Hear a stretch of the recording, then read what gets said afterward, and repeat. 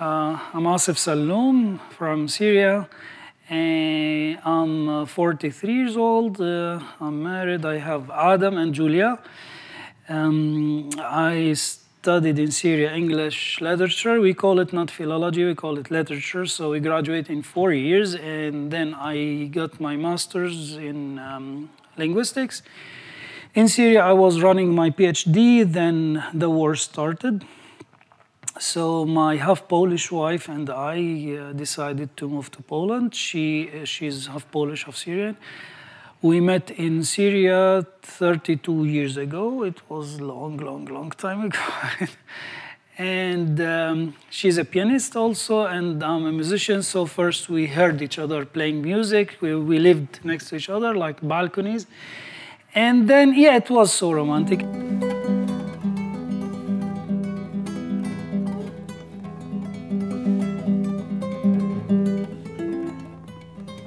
And then so we you know we, we, had some relationship for a couple of years. Then we got we got married in syria. We haven't thought about uh, coming here because things we had also a school kind of music school and english school there.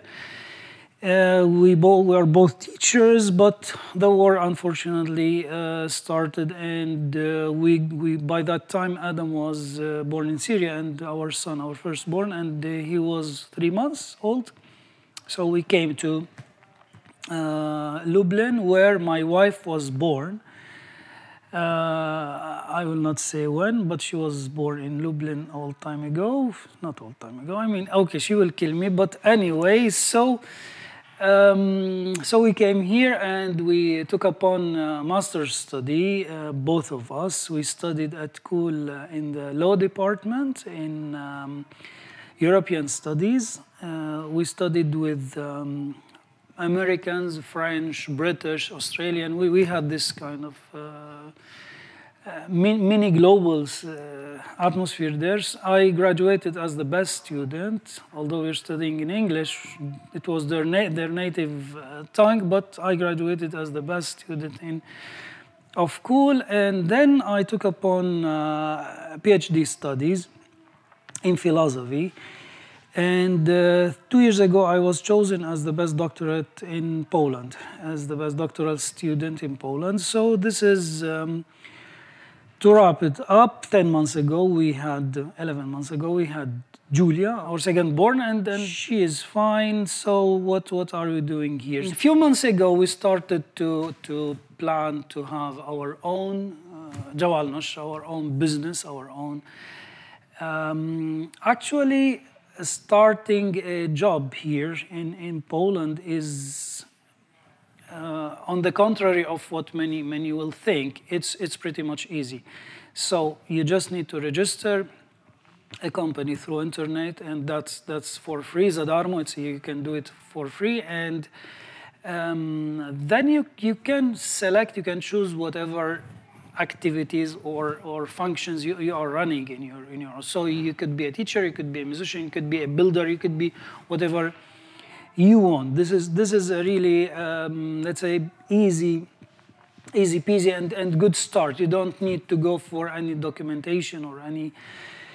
So this is what we thought about, and um, we started because we are both teachers and musicians. So we started this uh, activity here. I rented a place and. Uh, uh, I thought about uh, because we already have kids, so uh, and we keep taking them for sale Zaba for for for playrooms in in Lublin. So usually playrooms, usually they are just plastic balls, and kids will will just throw it, and then za pół godziny nudnym się, I'm bored i. So we said let's have a place where kids can really take what they need. So this is sport, this is music, this is brain train. This is English. Of course, we speak moving po polsku. We speak in Polish and we speak in English with, with the kids. Uh, so we have uh, sports spot, we have music room, we have uh, creativity room, we have uh, the best dinosaur in Poland even. Uh, they can sit on it and it rides like a car. And uh, so we, we tried to, to create our own different uh, Zabaw, our own approach for, for Sale Zabaw. for, for a playroom. And actually, we, we, are, we are doing fine because um, it was surprising for us that it's two months ago, we started two months ago, and we, we got really good echoes so from, from all around. So it's, it's really advisable here just to dare to do it, so just do it with the business. There was no real uh, cultural shock for me coming here as a student, simply speaking, because maybe I, I my mother-in-law Zosia in Syria, we accustomed to, to pierogi and to święta and to this and to that, to the Polish traditions there. So it wasn't that strange for me on the one hand. On the other hand, in Syria we had um, open society. It's not like what the media show shows all, all the time. So we have different story. The reality is totally different there. We are so normal, open people like here. So this is it wasn't there wasn't a cultural shock, but um, some some systems are different, some um, habits were different. Yet, um, as a Syrian, as whatever, I was really accepted and respected by um, by all of our atmosphere. I don't I don't think, and I disagree totally with this reputation of discrimination or racism or so. I, I personally have a different perspective for for this for this. Because as as long as you respect this society because we should understand that Poland Poland has special history. It was attacked from both neighbors from both flanks. So we should understand this history and that people here um, are proud with, of their nation and so we foreigners can't simply come here and try to do like France and Britain, change this country and to become some some another country. So. Um, as long as you respect the atmosphere, they, you will be accepted. You will be respected. For me, it was, it was really good start. No, no worries. My university, the Catholic University, really helped me. That that was genuine. We should. We are grateful all the time for their help uh, supported in everything they could. So that was that was uh, something, um, and I th always think that regardless the geography, you are a good person. You will be you will be respected and accepted. You respect people. You behave well. You will you will be accepted. You are aggressive and you will be in a ghetto and you will be alone. So people will treat you the same. So I think as a student, I would say this, this um, very uh, helpful open society was uh, in terms of, I mean, the community, the students' community. So you have maybe one downside I may mention here, maybe one, um, let's say not, not good thing. When you come here, Polish language is a hell. So this is, this is kind of, it's very hard, bardzo trudny. Uh, and when you come here, so you want to communicate with people, you want to, so wszystko po polsku, everything, napisane po polsku, everything is written in Polish, so not an English word. So sometimes not even correspondence with us as foreign students is done by in Polish. So this is, you know, for, for, for newcomers, it, it's not always, something easy for them because um, uh, you know in English you say be in po polsku pszczoła so so the, you know so it will be a different story for reading and for pronunciation and for so that that that would be a downside in, in, in this but but usually you will you will find here as a foreign student you will find many associations which really help you and support you. Uh, actually, I, you know, I'm, I'm, I'm busy enough and maybe not, not that smart to, to learn Polish. I just heard people speaking and then, then I spoke it. I haven't even, even you know, spent a day to, to learn any. Uh, actually, uh, we studied something in linguistics that if you like a society, a language, you will learn the language of this society. If you don't, you'll ha always have this psychological barrier. So I don't like this society, so I'll not speak the language. For me, lovely society, lovely people, smiling people. So language started to, to crack a bit. So it started to become easier. Actually, the, um, foreigners can find simply here uh, in Lublin. I may mention CEVO, Centrum Wolontariatu or Volunteer Center. I may mention the Rule of Law organization. I worked there for two years actually, and in that, this is Chopina Street, and in that uh, organization, that association, they give uh, legal help for free for, for everybody, for Polish, and they have a big part for uh, foreigners, so they help them, they help the foreigners. And I would mention Homo Faber, they, they, they supported, um, of course, I'm not talking about financial support, I'm not talking about, I'm talking about they, they tell you what to do here, what to do there. They, you will find uh, KUL has a special maybe program for this. UMCS has a special program for, for foreigners. As a foreigner, you will not be lost here. There is no chance that you know nobody will help you. You will be led through. So everybody will tell you what to do uh, from A to Z. So it, it would be it would be easy. So yeah.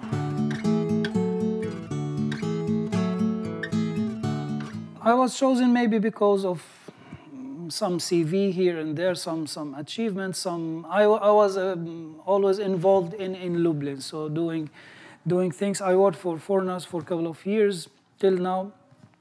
Um, so yes, and um, as a Syrian, they needed a, a, person from that place of, of, of the world. So um, actually, um, this is a great occasion because for me, regardless if you were atheist of, of, or if you were a believer, this is not this is not the point. Um, the point for for me was was like this: any act of peace, any act of integration, any activity to promote peace, to promote integration, to say that I always like to stress the common denominators. What, how do we meet, not how we are different. Because, okay, we are different in many things, but then maybe the sexy thing is how are we, how are we similar? How, where can we meet? So any initiation, any initiative for peace, for integration, I was always for this one. The um, the church in, in, in um, Lublin called me for to be one of the three kings. I said it's, it's an honor. Um, it is a big, the biggest maybe social activity in, in Lublin. And um, usually in, when we are in this um, Orszak, in this uh, procession, in, in, the, in the entourage, usually I just play with the kids all the time. So I just wave for them and, you know, make faces and they take pictures. And this is maybe my biggest attraction there. Look, uh, this is my sixth years, sixth year in, in, in Poland here, in Lublin especially. Uh, Lublin is the second city in Poland after Warsaw in the biggest number of foreign students. So this is something. And maybe this year it was the, the first, I'm not, I'm not sure, but for sure, for three years now it's the second. Um, of course, I've met many people who form their own ghettos, who like to be together all the time, who walk together, who talk to each other so they don't talk, they don't integrate. They are here to study this uh, four years, five years, whatever, and go home, that's it. No integration, no nothing. Personally, I can't understand this because, simply speaking, you have a very historical city on the one hand. Lublin is, is a beautiful woman. She's, she's so um, uh, tender, so sweet. She's so modern. She's so proud. You can discover her. You can discover this city. Instead of just sitting at your home and talking to your own just blanket, to your own friends, to your own. So go integrate. You'll find many beautiful places and people there. Um, I, we had this problem sometimes with some nationalities. They like really to congregate together, and that's it. So this is us. We'll spend this time and go home. If uh, you try a different approach, you will be surprised with the beauty of, of be people and the city as well. It's not only that you are here to, okay, study, be good students. I am a good student. I studied and I integrated well and I started my own business and it was really, really good. So instead of just spending this time alone with your own friends, you go meet, meet Polish people. They are beautiful people.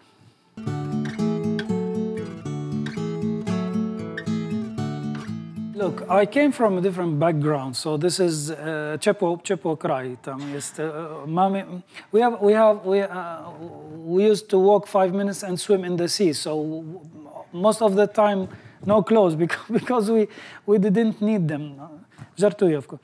Uh, the point is, most of the time it was very warm. So usually the weather is warmer and people are warmer. So we joke more there course, more than Polish people. And if you don't, if you want to go um, on the surface of things, I would divide Polish society into two layers: the surface and deep down.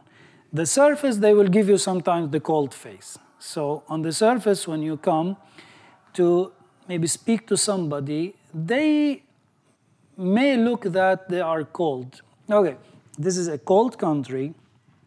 The country was uh, occupied and absented from the map for 123 years and then suffered communism for a long time. And then suddenly capitalism came and the country is still unstable okay?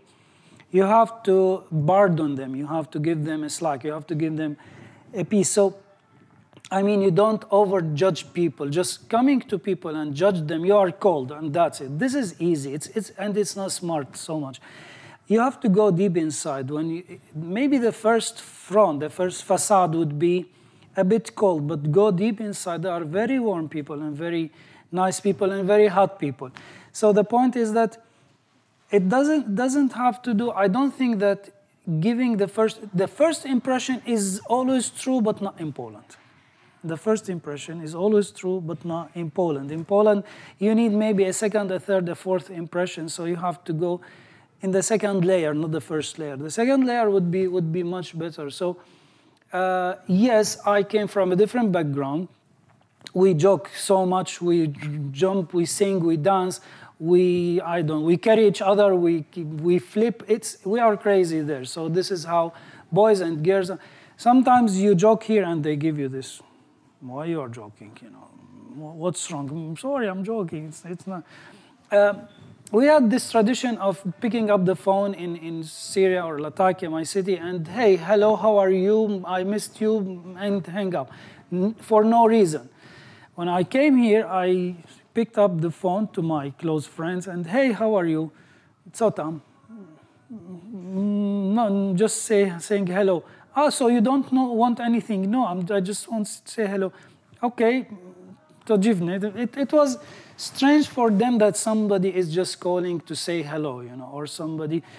You always need to say something. Of course, it's, as I said, maybe two, two different layers. So the first layer would be a bit cold, but you have to just dig deep inside and you'll find something more beautiful.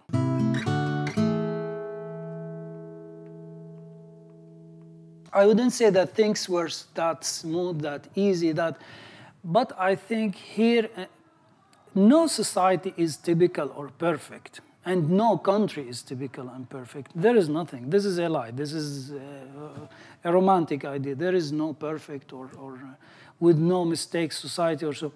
But I think that if you are a positive person, you'll just focus on positive sides.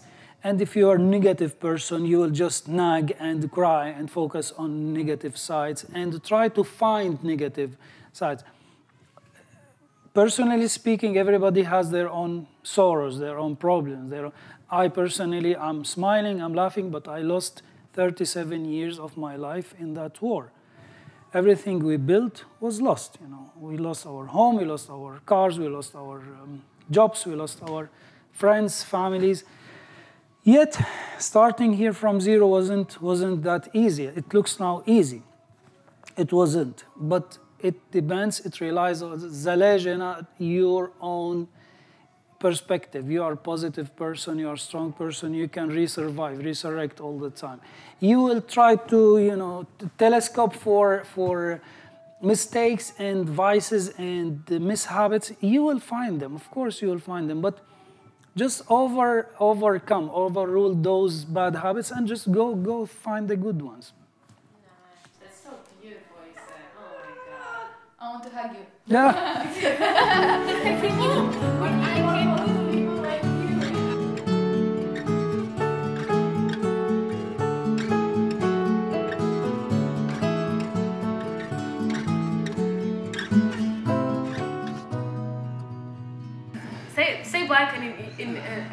Arabic بالطانية.